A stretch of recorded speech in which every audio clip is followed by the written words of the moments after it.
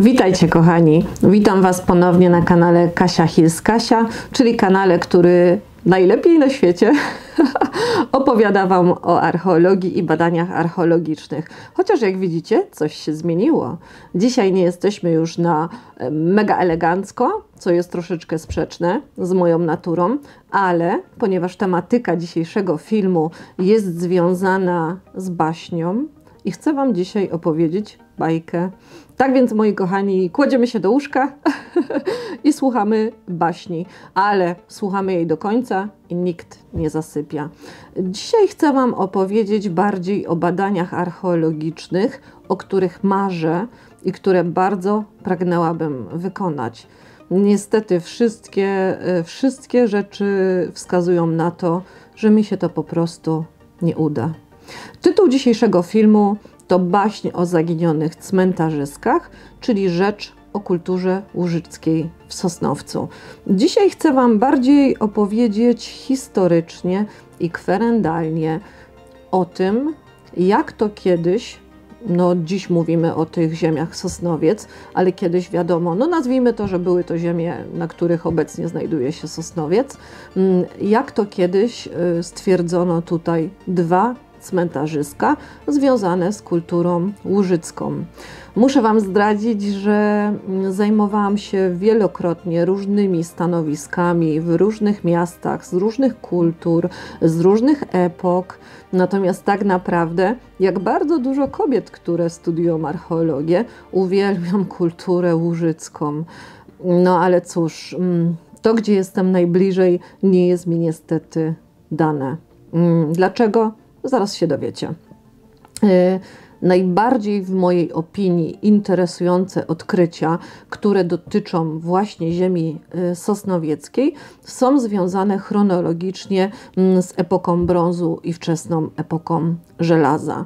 Na ten okres właśnie datowane są dwa cmentarzyska łużyckie, dwa stanowiska związane chronologicznie z epoką brązu i wczesną epoką żelaza stwierdzone i udokumentowane w dzisiejszych dwóch dzielnicach miasta Sosnowiec. Mam na myśli tutaj Pogoń i Sielec. Hmm, oczywiście są one związane, te cmentarzyska, z bytnością na tym terenie ludności związanej z kulturą Łużycką. Oczywiście, że w mieście Sosnowiec stwierdzono więcej stanowisk archeologicznych i też mam zamiar Wam opowiedzieć o stanowisku archeologicznym z Sosnowca, którym zajmuję się już ponad 10 lat. Mm, myślę, że wykonałam na nim 10-11 sezonów badawczych, z których każdy trwał po jeden miesiąc czasu. Natomiast to stanowisko związane jest z okresem, z czasem wczesnego średniowiecza, to znaczy z XI i XII wiekiem naszej ery. Natomiast dzisiaj, tak jak widzicie, baśń, czyli opowieść o zaginionych cmentarzyskach. Epoka e, brązu i wczesna epoka żelaza jeśli chodzi o Polskę, y, jest związana z latami mniej więcej 1800-1700 przed naszą erą do roku 400 przed naszą erą. Ja tutaj kieruję się datowaniem i typologią Józefa Kostrzewskiego, mm, gdyż generalnie uważam go za najbardziej y, uniwersalny mm, dokumentację tego czasu i, i podział ten odpowiada mi najbardziej. E, generalnie mówimy tutaj właśnie o okresie mm, brązu i właśnie o wczesnej epoce żelaza, a konkretnie jeśli chodzi o wczesną epokę żelaza, mówimy o, okres, o okresie halsztackim C i D, czyli właśnie epoka wczesnego żelaza. Epoka brązu, jak się pewnie orientujecie, ja Wam muszę powiedzieć pewne rzeczy, ponieważ nie każdy się orientuje, choć myślę, że dużo z Was y, ma pojęcie o archeologii i historii, niemniej być może nie każdy. Dlatego też należy przypomnieć, iż epoka brązu była kolejnym okresem, który mm, nastąpił z ogromnymi zmianami, które wprowadził mnóstwo zmian po epoce kamienia. Mm, te zmiany miały ogromny wpływ na życie ówczesnego człowieka. Mm, brąz, brąz był już surowcem, który nie istniał naturalnie w środowisku, w naturze, lecz był stworzony przez człowieka. Dlatego też znajomość i umiejętność pozyskiwania, wykorzystywania stopu miedzi i cyny mm, całkowicie, czyli brązu, całkowicie zmieniło postrzeganie i życie ówczesnego człowieka. Było to po prostu upowszechnienie masowego zastosowania metalu, i miało to konkretne i konsekwentne zmiany, zarówno w dziedzinie kultury, jak i w kulturze materialnej, społecznej i duchowej yy, żyjących osób w tamtych czasach. Yy, co więcej, nie oznaczało to oczywiście, iż surowiec krzemienny nagle został wyparty. Absolutnie nie. Surowiec krzemienny nadal był wykorzystywany, obrabiany i nadal y, korzystano y, na przykład z narzędzi krzemiennych, mimo że już w użyciu był brąz. Mm, co oprócz tego, mm, wprowadzenie też mm, nowego y, czynnika, nowego surowca w postaci brązu spowodowało także zmiany w życiu duchowym. Dochodziło do pewnego przewartościowania, do zmiany hierarchii wartości w życiu człowieka. Y, te wspomniane odkrycia, o których Wam powiedziałam, a związane z Sosnowcem, czyli dwa cmentarzyska, no, są właśnie związane z, z epoką brązu i wczesną epoką żelaza. Niemniej, co ważne, i to jest najważniejsze, że w tym czasie i charakterystyczne dla tego czasu będzie występowanie licznych i rozległych cmentarzysk ciałopalnych, na których stwierdzano tak zwane groby popielnicowe. Dlatego też właśnie współcześnie identyfikuje się mm, kulturę łużycką zarówno z terenami Polski, jak i z terenami Czech, Słowacji, pewnej części Niemiec i Rosji. Zresztą też znane pojęcie, być może słyszeliście, kultura pól popielnicowych. Mm, jeśli chodzi o osadnictwo kultury łużyckiej, to mamy rozpoznane i udokumentowane nie tylko z regionu, nie wiem, Zagłębia Dąbrowskiego czy Śląska, ale i z całej Polski, multum y, osiedli kultury łużyckiej. Co mam na myśli? Są to zarówno obozowiska, y, jak i osady, y, czy otwarte, czy typu, typu gród, więc takich stanowisk mamy bardzo dużo. Jeżeli chodzi na, ale jeżeli chodzi właśnie o obiekty sepulklarne, to mówimy tutaj o cmentarzyskach płaskich i kurhanowych. Mm, jeśli chodzi o Sosnowiec, mm, no to mam tutaj na myśli te cmentarzyska płaskie. Mm, co poza tym? To jest też istotne, gdyby ktoś był bardziej zainteresowany, iż dla ziemi sosnowieckiej mm, charakterystyczna w tym zakresie historycznie będzie grupa górnośląsko-małopolska kultury łużyckiej. A dokładnie dla, dla bardziej zainteresowanych tematem mówimy tutaj o podgrupie zwanej Gliwicko-Częstochowską. Na terenach, które sąsiadują z miastem Sosnowiec, powiedzmy, że tak w promieniu 20 kilometrów, mm, odkryto kilka bardzo ważnych, bardzo istotnych stanowisk archeologicznych, które ja osobiście mm, przynajmniej odwiedziłam te miejsca, niektóre, e, a na niektórych byłam po prostu, żeby sobie zobaczyć, jak to wygląda, chociaż po niektórych nie ma już śladu. Generalnie te stanowiska, o których Wam teraz opowiem, jako tylko wspomnienie kontekstu historycznego, one wszystkie mniej więcej są związane kulturowo y, z podgrupą y, gliwicko-częstochowską kultury łużyckiej.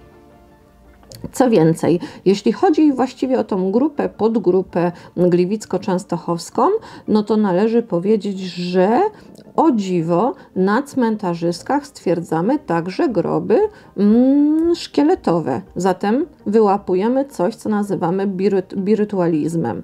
Co ważne, mm, często właśnie grobom szkieletowym towarzyszyły groby ciałopalne, które były bezpopielnicowe co znaczy, że no, często były one umiejscawiane lub wyglądały tak jak podłużne jamy, które często obstawiano na przykład y, kamieniami i nakrywano kamiennymi brukami. Regułą, jeśli chodzi o cmentarzyska łużyckie podgrupy częstochowsko-gliwickiej i gliwicko-częstochowskiej, było to, że w wyposażeniu zmarłej osoby zazwyczaj stwierdzano przynajmniej trzy naczynia. I był to garnek, misa i czerpak, a ten czerpak najczęściej był ustawiany w misie. Do najbliżej położonych stanowisk związanych z kulturą łużycką mm, należą stanowiska takie jak mm, cmentarzysko łużyckie z Siemoni, cmentarzysko łużyckie z Przeczyc, z Będzina Łagiszy, czy też na przykład cmentarzysko zlokalizowane w Strzemieszycach Wielkich, na które kiedyś miałam wielką chrapkę, ale mi się nie udało. Ale co się odwlecze, to nie uciecze. Oprócz tego, jeśli jeszcze chodzi o ten czasookres, e, znana z tego, z tego właśnie mm, horyzontu, jest osada e, ludności łużyckiej w Psarach i osada obronna e, z Góry Świętej Doroty w Będzinie Grodźcu. To też jest piękne stanowisko i tu też maczałam swoje archeologiczne dłonie w tym temacie, o czym Wam zaraz opowiem. Wszystkie wymienione stanowiska oraz te dwa związane z Sosnowcem cmentarzyska łużyckie są datowane na piąty okres epoki brązu i Hallstatt C. Czyli mniej więcej, mniej więcej mówimy o datach od 900 do 700 przed naszą erą i 700 przed naszą erą do 600 y, przed naszą erą. Mniej więcej takie datowanie. Wspomniane cmentarzyska są bardzo ważne w kontekście do cmentarzysk Sosnowca, gdyż mają wiele podobieństw. Dodatkowo, badając te cmentarzyska, można też mm, nawiązać, posługiwać się wieloma wskazówkami badawczymi, które płyną poprzez jedno do drugiego y, stanowiska. Dzięki temu poszerzamy nasz horyzont badawczy, dzięki temu wiemy coraz więcej. I tak, mm, cmentarzysko w Siemonii po Młynie, które, o którym już Wam wymieniłam, mm, tutaj pracami archeologicznymi w latach 50. Y, XX wieku kierował bardzo bardzo znany archeolog Włodzimierz Błaszczyk. Mm, on generalnie ustalił konkretną liczbę mm, eksplorowanych, odkrytych grobów na, liczb, na liczbę 108 grobów. Co jest ważne, były tutaj odkryte zarówno pochówki ciałopalne jamowe, jak i popielnicowe, ale też właśnie szkieletowe. Oprócz tego bardzo licznie znajdowano tutaj wspomniane misy, kubki, czerpaki czy garnki, ale także znajdowano przedmioty metalowe, a więc bransolety, naszyjniki, brązowe skręty, czy na przykład występowały mm, fragmenty lub w całości przykłady broni. Mm, jeśli chodzi o nekropolę łużycką z Przeczyc, no ona jest bardzo znana, myślę, że każdemu archeologowi w Polsce. Mm, jeśli powiemy stanowisko cmentarzysko-łużyckie z Przeczyc, to przede wszystkim przychodzi do głowy przedmiot odkryty multanki instrument muzyczny, mm, który, który odkryto właściwie tylko jeden w tamty, z tamtego czasu. No i jest to taki żelazny, żelazny mm, obiekt archeologiczny, właściwie przedmiot ruchomy, który jest znany wręcz można powiedzieć na e, cały świat. Wpiszcie sobie multanki z Przeczyc w internet, to zobaczycie o czym mówię. Mm, co ważne, to cmentarzysko było badane w latach 60. przez tak, tak samo znanego archeologa, przez panią Ewę Szydłowską. Tutaj eksplorowano ogromną ilość y, pochówków, ogromną ilość grobów, gdyż było ich y, zespołów grobowych było 874. Mm, co dalej? Mm, cmentarzysko, datowanie tego cmentarzyska ustalono pomiędzy rokiem 800 przed naszą erą, a 550 przed naszą erą. Kolejne cmentarzysko łużyckie, zlokalizowane w Będzinie Łagiszy, mm, także było nekropolą w typie y, birytualnym. Mm, jest datowany mm, podobnie na piąty okres epoki brązu i wczesną epokę żelaza. Badania prowadziła archeolog Wanda Galasińska-Hrebendowa e, i prowadziła je w latach 60. XX wieku. Mm, tutaj e, zlokalizowano 346 mm, obiektów kulturowych i, i, i tutaj też był ten birytualizm, czyli stwierdzono 282 groby szkieletowe, 40 e, ciałopalnych i 4 wirtualne. Co, za, co poza tym, mm, należy podkreślić, że tutaj w tym przypadku zarówno groby y, popielnicowe, jak i groby jamowe mm, no, były tako, takie charakterystyczne tego stanowiska. Jeśli chodzi o groby jamowe, to były takie, mm, do których, czyli takie, do, do których przepalane kości po y, spaleniu na stosie zostały wsypywane bezpośrednio do jamy grobowej. Kolejne z wymienionych cmentarzysk e, cmentarzysko łużyckie w Strzemieszycach Wielkich, a więc to, mm, do którego mam wielką nadzieję się jeszcze dobrać. Mm, no, ono jest datowane na koniec epoki brązu i niestety w tym przypadku ze względu na istniejące wówczas okoliczności eksplorowano jedynie 10 grobów szkieletowych i ciałopalnych. No i cóż, no tutaj, tutaj ym, takie charakterystyczne jest, że przepalone kości ludzkie spoczywały najczęściej na warstwie y, piasku i często było to ułożenie w porządku anatomicznym. Y, często tutaj grobom szkieletowym z tego stanowiska y, towarzyszyły obstawy kamienne.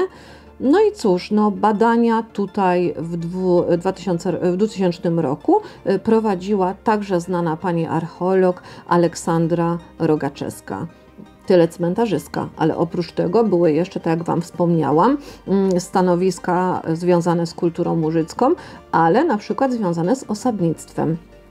Zatem osada obronna y, ludności łużyckiej z Psar, mm, badana w latach 1988-1990, także była badana przez podaną przed chwilą badaczkę panią Aleksandrę Rogaczewską. No i tutaj między innymi odkryto na przykład trzy bruki kamienne, mm, kilkanaście jam, które posiadały w swoich wypaleniskach sporą ilość ceramiki. Mm, być może, ale ten obiekt jest poddawany w wątpliwość. Stwierdzono tutaj pozostałość po chacie. No i, i generalnie ten, te stwierdzone obiekty y, archeologiczne datowane są na przełom V wieku, V y, y, okresu epoki brązu i okresu halsztackiego C. Tymczasem właśnie wspomniana osada obronna na górze Świętej Doroty w Będzinie, Grodźcu jest to stanowisko, moi drodzy, na które ja wracam wielokrotnie. Wracam wielokrotnie, ponieważ tego wymagają pewne inwestycje i dodatkowo mm, być może się to uda. Jest planowany bardzo szeroki projekt, żeby wzgórze Świętej Doroty rewitalizować. Co to będzie znaczyło archeologicznie? Będzie to znaczyło, że pójdzie naprawdę bardzo dużo badań archeologicznych i nadzorów archeologicznych pod różne inwestycje. Mm, oczywiście te inwestycje są planowane w sposób jak naj najmniej inwazyjny, no niemniej myślę, że wiedza na temat wzgórza świętej Doroty się y, poszerzy. Ja Wam powiem tyle, mm, kiedy w moich czasach się studiowało, mm, jakoś staraliśmy się, mm, żeby już podczas, podczas studiów zacząć pracować na wykopaliskach. Było to oczywiste na przykład dla mnie. Oczywiście każdy student archeologii był zobowiązany, nawet jak już się dowiedział, że zostanie przyjęty na kierunek archeologia, no to już przed przyjęciem, przed przed rozpoczęciem pierwszego roku studiów musiał jechać na tak zwane praktyki zerówkowe, a potem rok rocznie, po skończeniu każdego roku, musiał odbyć co najmniej miesięczne praktyki w terenie na badaniach archeologicznych. I co chcę powiedzieć, wspomniana Góra Dorotka, to były chyba, z tego co pamiętam, pierwsze moje badania archeologiczne, w których brałam udział, a byłam dopiero na drugim roku archeologii, więc przemiło wspominam Wzgórze Świętej Doroty. E, no, jest naprawdę ciekawe. Mm, Wzgórze Świętej Doroty e, badało przede wszystkim dwóch badaczy. I był to Włodzimierz Błaszczyk, ale także Aleksandra Rogaczewska, y, o której już wspominałam kilkokrotnie. Kolejnym badaczem Wzgórza Świętej Doroty jestem ja. Mm, pozyskano z góry świętej Doroty ogromną ilość materiału ceramicznego, e, bo ponad 3,5 tysiąca fragmentów naczyń cienkościennych i około 6 tysięcy fragmentów naczyń grubo, grubo, grubo, że tak powiem, e, ściennych. No i co poza tym? Poza tym odkryto też e, zabytki krzemienne, wyroby z kości i rogu i też bardzo dużo zabytków brązowych. Jeśli chodzi o samą, e, samo wzgórze świętej Doroty, prawdopodobnie odkryto i stwierdzono e, pozostałości po fortyfikacjach tego wzgórza, być może po wałach otaczających wzgórze, a przynajmniej mm, w niektórych e, miejscach. Co poza tym, należy y, też zwrócić uwagę, że dosyć często mm, na różnych tych mm, stanowiskach związanych z kulturą łużycką, a przede wszystkim y, na cmentarzyskach, o dziwo obok misy, czerpaka czy kubka znajdujemy gliniane mm, grzechotki. Jest to zastanawiające i teorii jest mnóstwo, bo kojarzy się to bardziej z dzieckiem, taka grzechotka. Natomiast być może chodziło o pewne aspekty kultury duchowej i wiarę w to, iż po prostu grzechot grzechotki, sam ten odgłos, sam dźwięk grzechotki ma znaczenie apotropaiczne, czyli po prostu odstraszające. I być może dlatego dosyć licznie znajdujemy w wyposażeniu grobowym kultury łużyckiej grzechotki. Ale to tylko taka ciekawostka.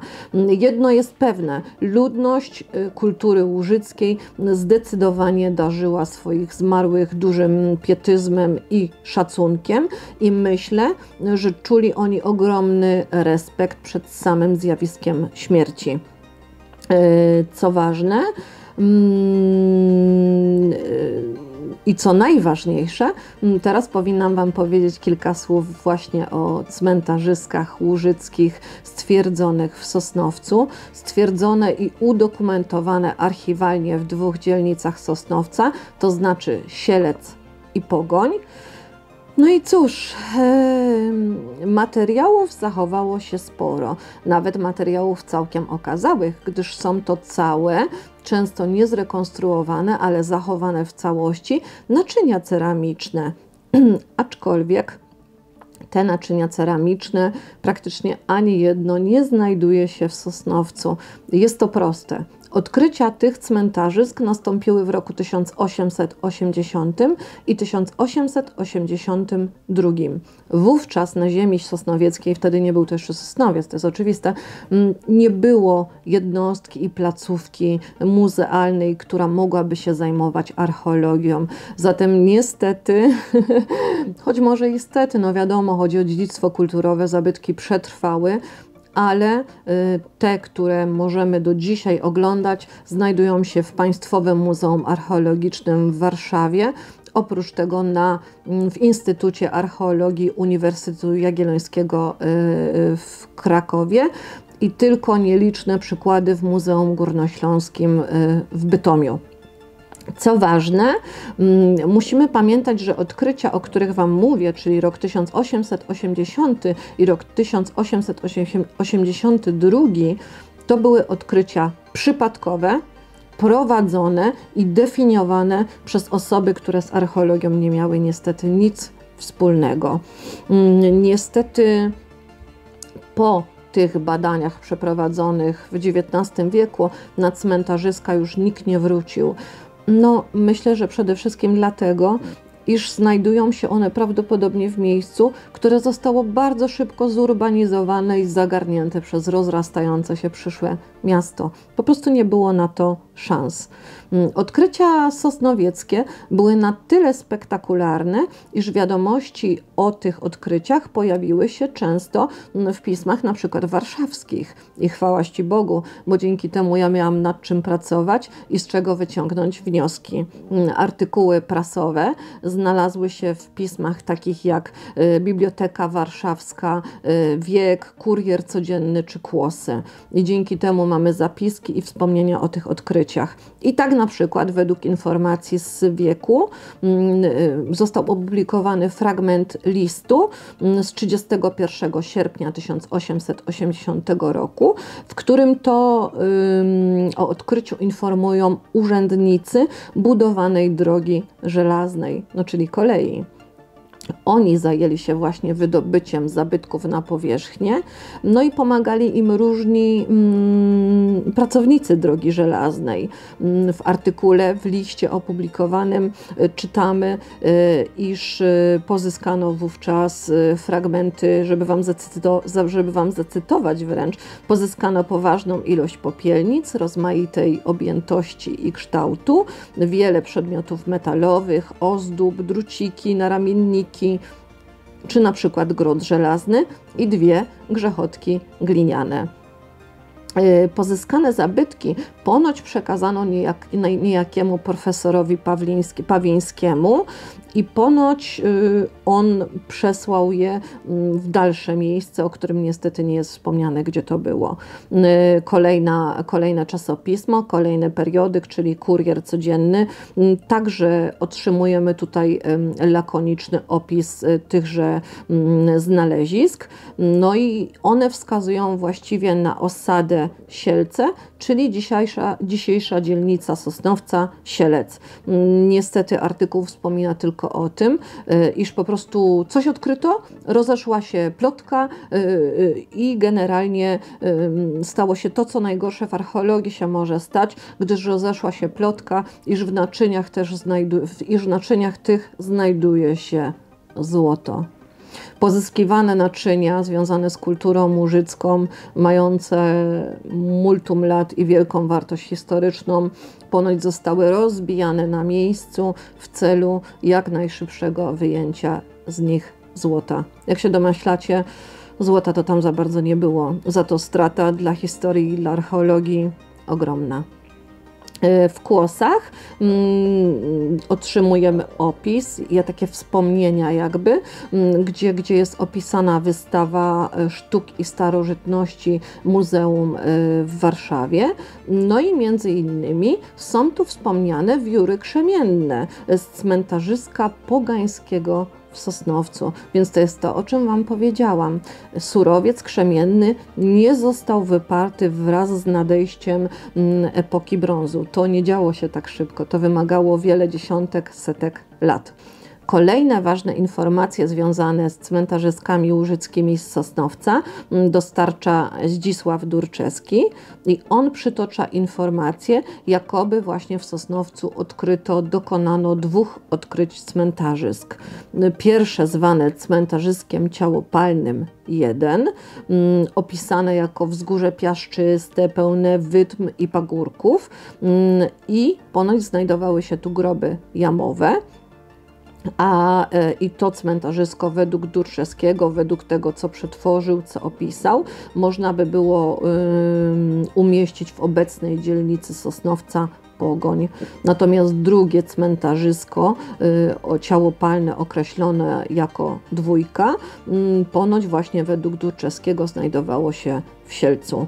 Mm, co poza tym, dosyć sporo miejsca, ale myślę, że też bazując na kwerendach archiwalnych, mm, w swoich badaniach poświęcił Marian y, Kantor-Mirski, mm, który gdzieś doszukał się informacji, jakoby jedno z cmentarzysk znajdowało się w miejscu, gdzie, jak pisze, obecnie stoi biuro zakupów Sosnowieckiego Towarzystwa naprzeciw cerkwi przy ulicy 3 Maja. No to jest fajna informacja, to jest fajna informacja, gdyż docelowa i wskazująca konkretne miejsce. Kolejnym historykiem, który y, poświęcił temu tematowi miejsce, był Jan Przemsza Zieliński, y, który właśnie potwierdził, że odkrycia miały miejsce w 1880 roku i 1882 roku. I generalnie według tutaj pana Przemszy Zielińskiego, y, Oba można wydatować na okres Hallstatt C, czyli mniej więcej lata 650 do 400 przed naszą erą. Co dalej? Niestety nie ma więcej informacji na temat tych sosnowieckich odkryć. Mm, ja oczywiście byłam w trzech wymienionych miejscach, czyli zarówno w Państwowym Muzeum Archeologicznym w Warszawie, mm, w Instytucie Archeologii Uniwersytetu Jagiellońskiego, jak i w Muzeum Górnośląskim w Bytomiu, żeby obejrzeć zbiory, mm, żeby zapoznać się z nimi. No ale ponieważ są to zbiory z XIX wieku, one naprawdę nie noszą nic więcej niż podstawowa metryka muzealna i to jeszcze z tamtych czasów. Po prostu nie ma, nie ma danych, nie ma na przykład drogi przybycia danego zabytku do muzeum. Ech, cóż, Według mnie prawdopodobnie tylko część pozyskanych zabytków trafiło do placówek muzealnych, a tak jak słyszeliście, myślę, że ogromna, ogromna liczba pozyskanych zabytków z cmentarzy skórzyckich Sosnowca mm, została rozgrabiona i zniszczona, choćby w poszukiwaniu w nich złota. Niestety Niestety no, jest to coś, mm, gdzie ja oceniam prawdopodobieństwo zweryfikowania choćby szczątkowo miejsca y, y, znajdowania się tych cmentarzysk na współczesne czasy, czyli dziś obecnie na może pół procenta, bo tak jak Wam mówię, te podane miejsca lokalizacji cmentarzysk to jest w dzisiejszych czasach miejsce całkowicie zurbanizowane, zagospodarowane, drogi, chodniki, bloki, domy, więc moim zdaniem praktycznie szanse są y, y, znikome. Mm, cóż, mm, miejmy nadzieję, że głupi ma szczęście i miejmy nadzieję, że jeżeli ktokolwiek trafi na choćby znikomą pozostałość cmentarzy skórzyckich w Sosnowcu, to będę ja. Dziękuję Wam, kochani, serdecznie. Jak zawsze proszę Was o zostawienie subskrypcji, łapki do góry i mm, dzwoneczko, zaznaczenie dzwoneczka, żebyście byli na bieżąco z moimi filmami. Już niebawem widzimy się w kolejnych. Pa, pa!